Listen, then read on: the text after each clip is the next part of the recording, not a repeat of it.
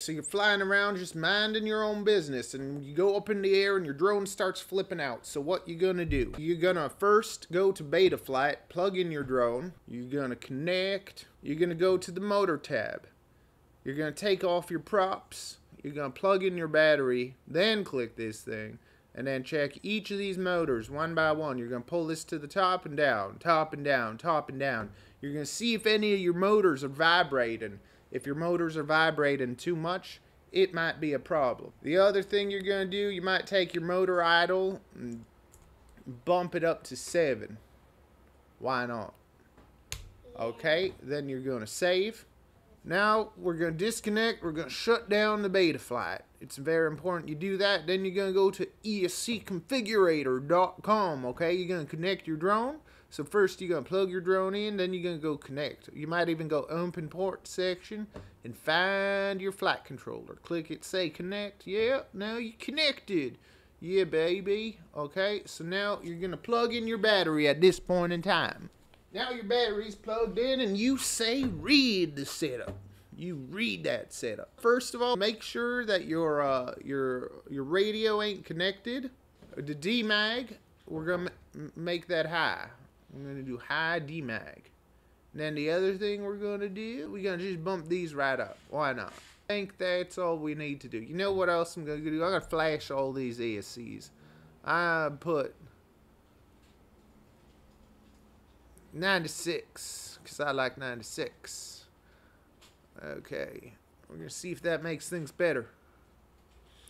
Then we're going to fly and see if our drone keeps flipping out. Uh, the 90, 96 thing, you don't have to do that, but it makes, if you have a lower number here, like 48 or 25, it's supposed to give you more lower and control. And if you have a higher, if you have a higher number, it gives you more high end control. And I like going fast. I want to go fast. So I want a high number with a high-end control. And it's also more efficient, so you should actually get more flight time out of the 90, 96 hertz. Okay, so you you try doing those things, you see if it works, and if it does, you come back, you say, thank you, thank you for helping me, Toronto. I don't know what to do without you. I said high, I want it to be high you make sure you write these settings. It's not his real voice, it's his fake voice. Okay, nobody cares. We're all having fun, and most of my viewers are American, and they sound like me, okay? So anyways, here we go. Let's write these settings. Make sure you write these settings. Say, when you're done those things, you write those settings, okay? You write those settings. If you don't write those settings, it ain't gonna save them.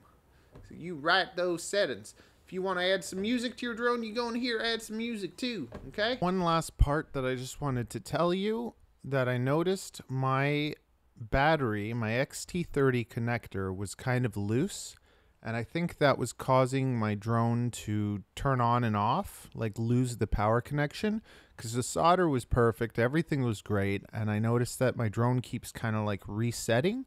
So, what I think the issue was the actual issue was that the XT30 wasn't making full contact with the battery the whole time. So I switched the XT30 with a brand new XT30. It's not actually a desync, it's just a power loss and a reset, so then we lose connection to the drone. And hopefully that helps you. And if it does help you, be sure to like this video, subscribe, and write a comment down, please. It means so much. I also want you to know that I love you, because everyone should feel loved and be told that they are loved sometimes. If you want to know how to tune your drone amazing and make it fly better, you can just follow the instructions in this video. Make sure you go through all of it and do all the things. It's a little bit going to make a big difference, okay? Check it out. Don't forget to like the video, leave a comment, say hello, tell me where you're from.